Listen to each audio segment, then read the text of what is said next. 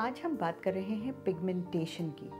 Pigmentation के मायने यहाँ मैं झाइयों से नहीं, मैं एक जनरल जो हमारा कलर धीरे धीरे डार्क होता चला जाता है और सबको कहीं ना कहीं वो परेशान करता है, उसकी बात कर रही हूँ।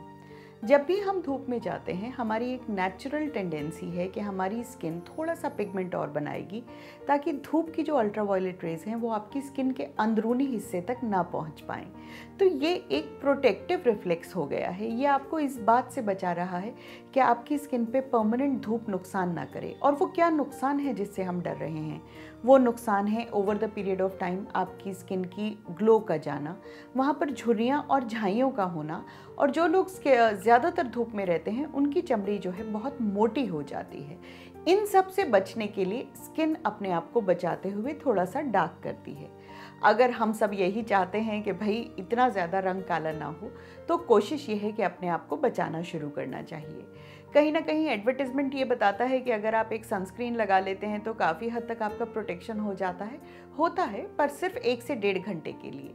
और उसके बाद अगर आप सनस्क्रीन को दोबारा नहीं लगा रहे हैं तो वो काफ़ी नुकसान करती है। तो कोशिश ये कीजिए कि अपनी ज़िंदगी को इस तरह शेड्यूल करें कि धूप आपको परेशान ही ना करे। 11 से 4 बजे तक की धूप में अल्ट्रावायलेट ए और बी सबसे ज़्यादा होती हैं। कोशिश कीजिए कि अंदर रहें, अंदर का काम करें। बाहर का जो शेड्यूल्ड काम है, वो इससे पहले या चार बजे के बाद करें। जब बाहर निकल रहे हैं, चाहे कितनी भी गर्मी है, एक तीन चौथाई बाजू होनी चाहिए। कपड़ा कॉटन का होना चाहिए। इससे ये होगा कि वो धूप की जो रेज हैं, वो एब्जॉर्ब ही नहीं होंगी। बाहर के बाहर चली जाएँगी, आपकी स्किन तक नहीं जाएँगी। उसके बाद की लेयर आती है अपनी स्किन के ऊपर। तो जो एरिया खुला हुआ है, उसमें एक हल्का सा कैलेमीन लोशन या फाउंडेशन टैल्कम पाउडर इस तरह की चीज़ लगाएँ। ये एक फ़िज़िकल सनस्क्रीन का काम करती है, धूप को आपकी स्किन तक पहुँचने ही नहीं देती।